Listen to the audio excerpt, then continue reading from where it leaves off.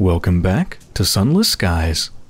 In the last episode, we did an expedition into Traitor's Wood, and we heard a name in there, something like a silent barrow or, or something of the sort. Some sort of a silent place. We took that back to the paleographer, and they told us about a place that we can try to do another expedition to that might fit the description. So let's do it. I want to know what the heck is in this very, very weird, disturbed forest. I think I have everything I need. I have enough people, supplies, fuel. Yes, yes. Okay. Let's prepare for a large expedition. It's going to take two of my supplies. I can buy more. Two of my fuel. I can't buy more here, but that's fine. I bought extra on purpose.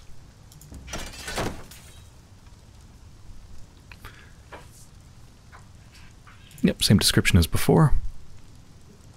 The Barrows of Silence. Yes, that's what it was called. The scholars have provided the location. The wood whispered its name to you. Whoever lies in the Regent's grave may have been connected with this place. Expedition of moderate difficulty. I still haven't seen anything that requires more than moderate difficulty. There must be many expeditions to do then. It wouldn't tell you the difficulty, I think, if it wasn't the case that there's ones that are more difficult. To the grave. Your crew are reluctant, but obey your command. They haul on their packs and make ready for another incursion. The scholars watch you leave, their expressions solemn. It's not long before you're surrounded by trees, the canopy plunging you into gloom. Thunder shakes the trees. Storm's nearing, the signaler says, drawing up her hood. Should we be out in this, Captain? Yeah, this is definitely getting harder because along like the first expedition that I took into here, wasn't the option to brave the storm a hundred percent chance of success? I think. Now it's fifty-two. But wasn't the beginning expedition also called moderate difficulty? Uh, hmm. Well, anyway. 100% chance to take shelter. Send scouts to find a safe refuge. While you wait your shelter, you shelter beneath a vast tree. It's the pale gold of a candlelit manuscript page. The cover is inadequate. The flask of brandy does not last long enough. Then, torchlight nearby. Your scouts return. There's a hollow under an ancient tree where you can make camp. There's even a cache there. Someone has come through here before you. Not the date that it was, again. Yeah, when we first came into port here. It was the day before 1906. It was December 31st. And just by doing expeditions, we've passed three days doing expeditions. You emerge into a field of purple flowers, bright as new bruises. Captain, stoker's voice is anxious. Can you hear them? Something whispers from beneath the petals. Alright, we've done this before. Once again, listen to the voices vastly better chance of success. 67. Yes. So this will be the same description as before, right? Yep. Long shadows move through the silver trees ahead. There's a mournful howl. Someone sounds hungry as Stoker tries to joke. Oh, we've seen this one as well. Draw the beasts out or hide from them. 63% chance to hide, 31 to draw. Let's hide partial success? You break from your path and slip into a copse of trees white as bone. You creep under the canopy. Perhaps the dense wood and utter darkness might throw off pursuit. You hear the occasional crunch, surely only a branch underfoot, as your pursuers enter the wood after you. There's a scream from somewhere behind you. One of your crew has been caught. Oh, I'm sorry, crew. Go back. You won't abandon your crew. You will lose hearts lose hearts? Oh god. That's that's big. I mean, I'm already terrible at hearts, so like does it matter that much? Probably not, but I mean that's one of my core stats. Leave them. You'll lose crew. You know, just because they scream doesn't mean that they're dead. I'm not going to say it's already too late. No. Elizabeth would not do that. You won't abandon your crew. I've lost five hearts. Ow. You turn back, running through the wood, heart pounding with your feet. a stoker lies below a beast that resembles a stag. Had it mated with wolves for generations. It bares its teeth and lowers its head. It charges. Your pistol is quick, but the beast is stubborn. Your shoulder is gouged before it falls. Brain and blood splatter your clothes. Your stoker is, however, extremely grateful. Good. We saved him. But yeah, losing five hearts. That is. That's massive. My god. That's almost an entire level up lost. I think when you level up, you get. Actually, what do you get? I don't remember how many points you get when you level up. Okay, we got a bog again. Cross or search for another route. Search. Whew. So we've seen this description as well. Another day has passed. Gained a tale of terror. Enter the Barrows of Silence. A circle of earthen mounds surround a hollow of blasted ground. Between graves. The barrows smell of leaf mold and decay. Some are so old they've sunken and are barely distinguishable from the rest of the grass covered ground. Your crew shiver as you walk past the mounds into the blasted circle at their center. A wind whips past you, blowing up dust. A bird overhead calls out. Its cry is cut short.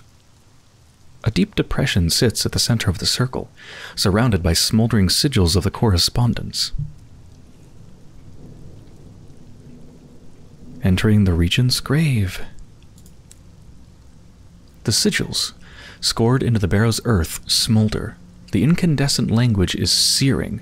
A command burns your marrow. Here you will be silent.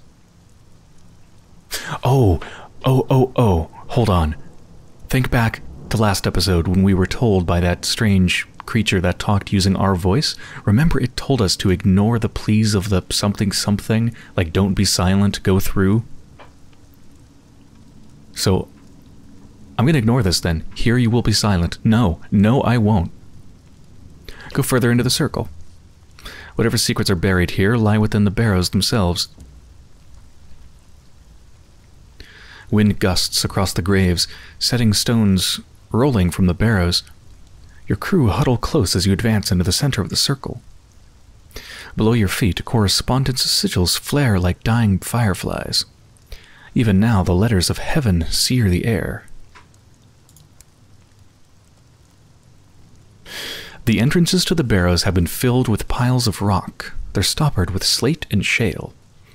Beneath your feet, the correspondence is incandescent. We have raised you up, and so shall we cast you down.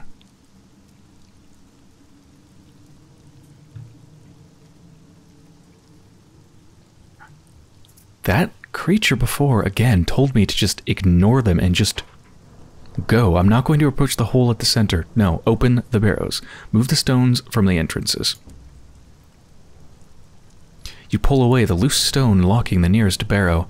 Your crew move away the other rocks, opening the graves. A cacophony of sound rolls out. Sigils smolder in the air. Not to be forgotten, not to serve, not to be silent, to be permitted. Ash and smoke blow across the now bellowing graves. One of the barrows is screaming in Latin. An erudite stoker conjugates in haste. Captain, he shouts in your ear, those are your orders from only yesterday. They've been listening.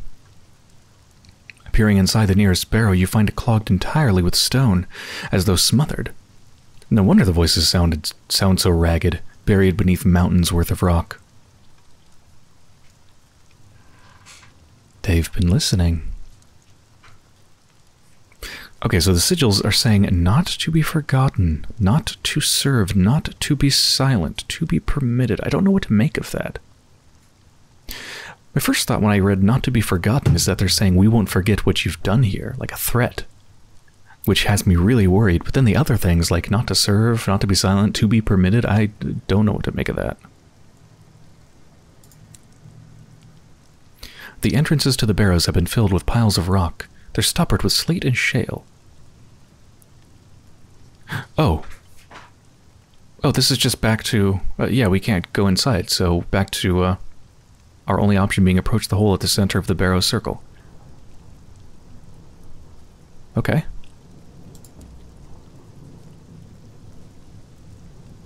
Our power shared, our gift given, our law defied. The hole is partially clogged with ash, but you can see a gleam at the bottom. Something gold glistens down there. The sigils around the lip of the hole burn comprehension into you. The privilege of stewardship abused. Fury and pain and betrayal wreck your ligaments.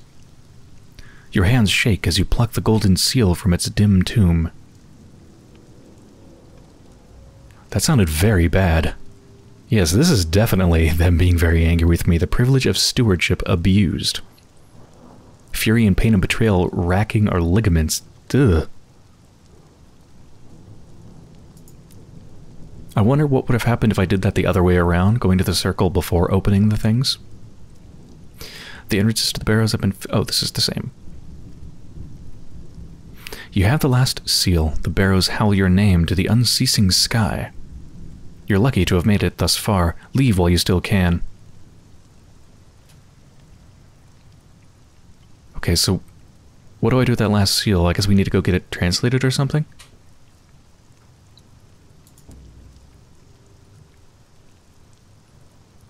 As you walk away and out of the circle, Oh, Jesus Christ, I just lost all my hearts. Um, as you walk away and out of the circle, the sigils fade.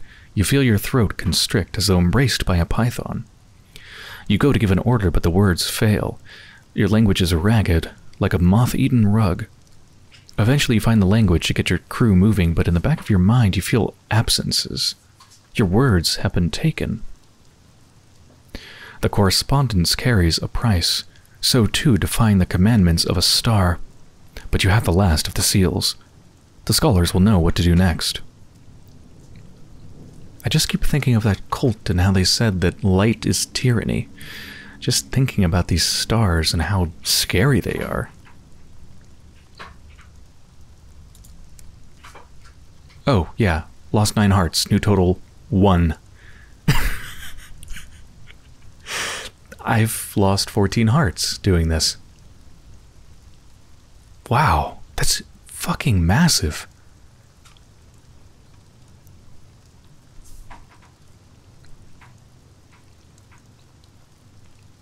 Uh, I can consult the scholars, like all of them, on opening the gate, or speak with one. Can I do anything in particular?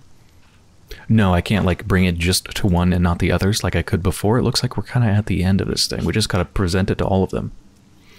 Consult them on opening the gate. You have three seals to open the regent's grave. The scholars will be able to lend their expertise. The scholars are waiting eagerly for your return, though they affect otherwise. The vituperative classicist arrives first. Well? The others hurry behind her, their expressions repetitions of her question. You explain all you can. A servant thrown down, the theologian concludes, for dreadful overreach. It is not my king in the barrow, then, the paleographer says mournfully. Only a retainer. We don't know that, the classicist replies, though it's a reasonable supposition. She turns to you. Take me with you. Let's open this wretched grave. The theologian immediately volunteers himself as an alternative.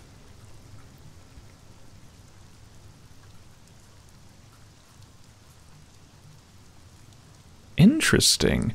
The one person who I liked the most and was trusting, or I, I like, I was going with their interpretation of what to do at each step. I was presenting all my evidence to them, the paleographer, exclusively. They're the only one who seems to believe completely that their whole idea has just been shot down and is useless, worthless.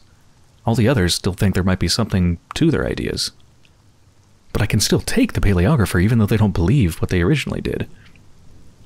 It's interesting. Yeah, so the vituperative classicist, she was least bound to her theory. Perhaps she will find the truth rewarding.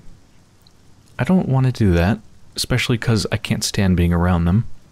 The theologian, his insouciant demeanor shields him from disappointment. Would he appreciate the truth? That's another one of those words that I need to look up. Insouciant. Um, casual lack of concern, indifference. Let's go with the dismal paleographer. They've been with me the whole way. And, as it says here, here, his theory is in tatters. The truth might be a balm. yeah, maybe maybe since they're not tied down to any one particular interpretation, they're not convinced that their thing is the right thing. They're actually convinced the opposite. Maybe they'll be the most illuminating with what's actually going on. The dismal paleographer gasps. Me? But why not? He glances at the others, then draws himself up. Well, why not? I'll get my things. The theologian approaches you. Please be careful. I wouldn't want anything to happen to him. The paleographer returns with a heavy bag. Shall we be off? Aw, the theologian said be careful, I wouldn't want anything to happen to him. Remember, the paleographer and theologian used to be friends, kind of drifted apart.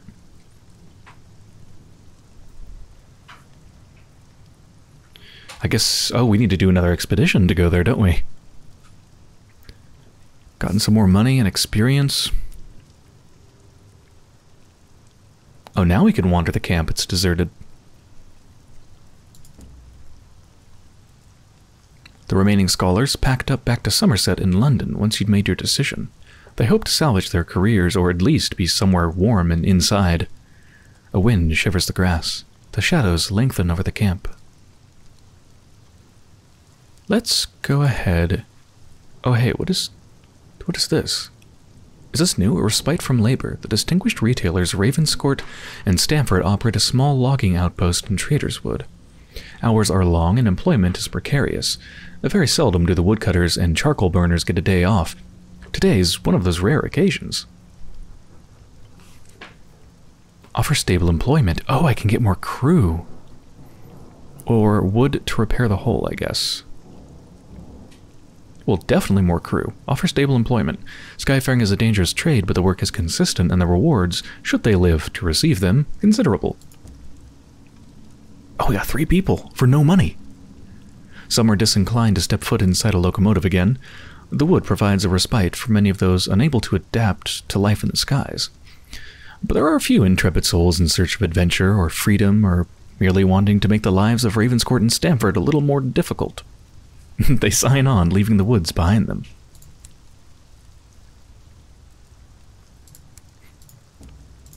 Yeah, with that done, let's buy a couple more supplies. I don't I think I just need two to go in, I want to have extra just in case something happens where I might need to like spend supplies or something.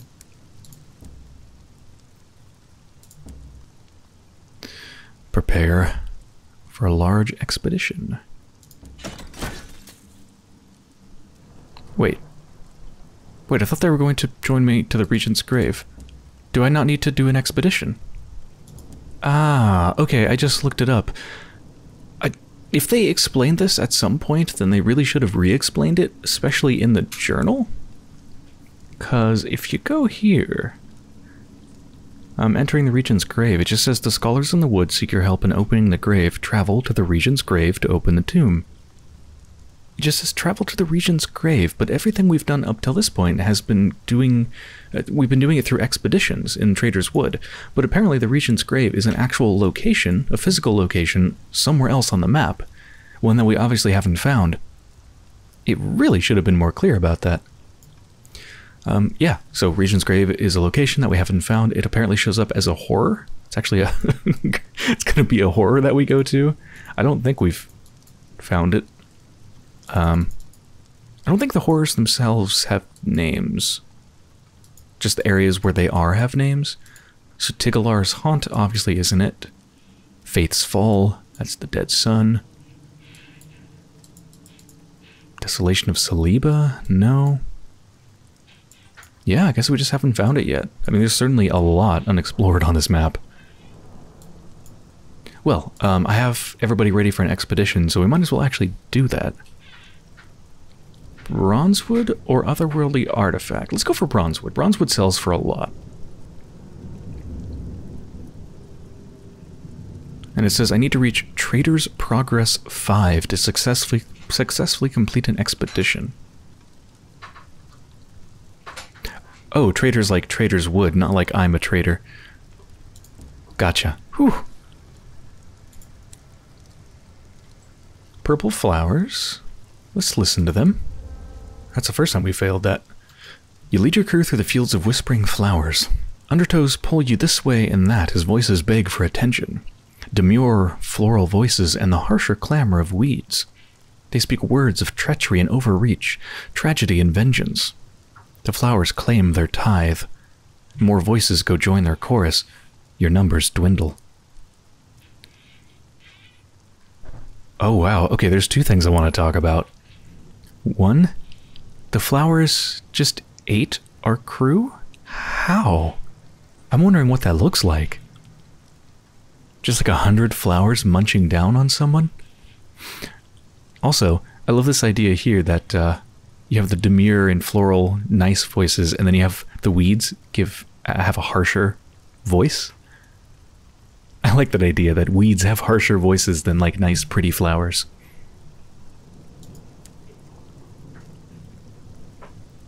Let's rest. 53% chance. Success. Uh, yep, we've seen that description as well. We gained fuel. Briefly without terror. Nice. We have another bog again. Let's search for another route. Success. Seen that description. Enter the grove, filled with bronzewood trees tall as cathedrals.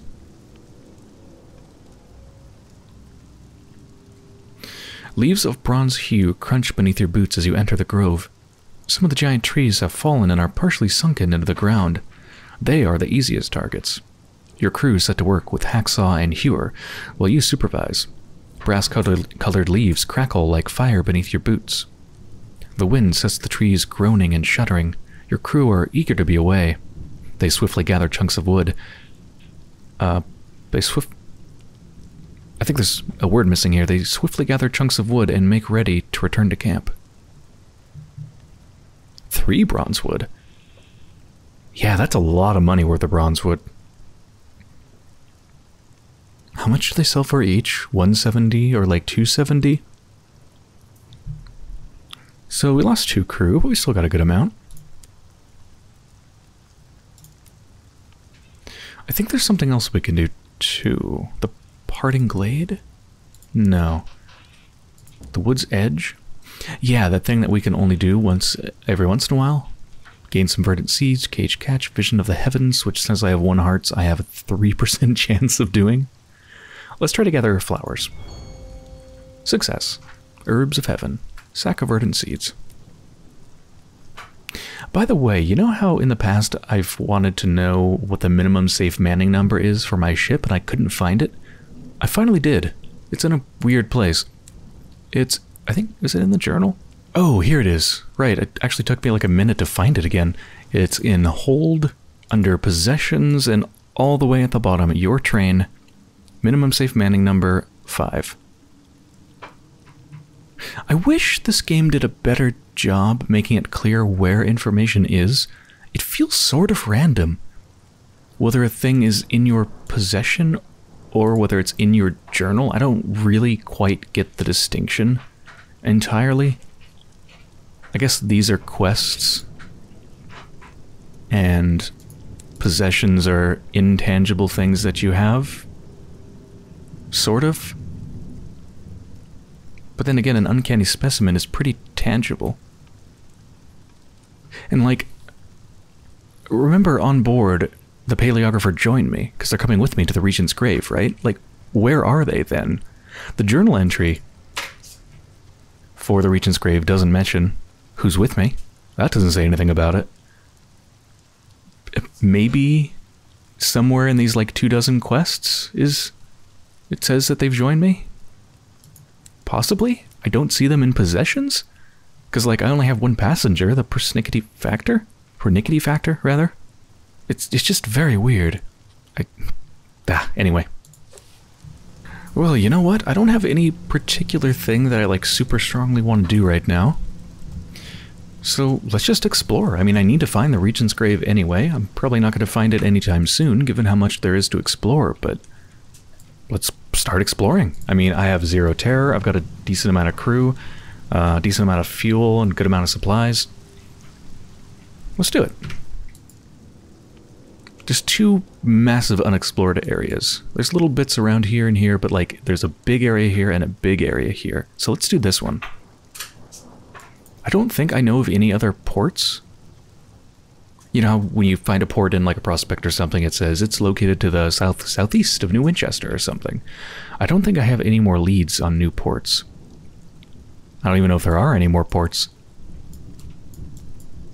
But maybe we'll find something. Yeah, let's just go to the edge of the world, I guess, and then, like, make our way up here. Why not? It'll be exciting. Didn't mean to send out my bat.